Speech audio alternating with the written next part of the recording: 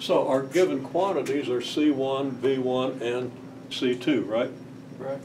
So we want to write the net voltage in terms of C1, V1, and C2. Now, we could write Q in terms of C1 and V1, right?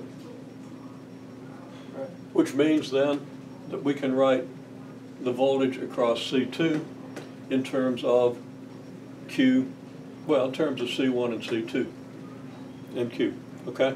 Yeah, uh, uh, uh, Actually, in terms of C1, C2, and V1.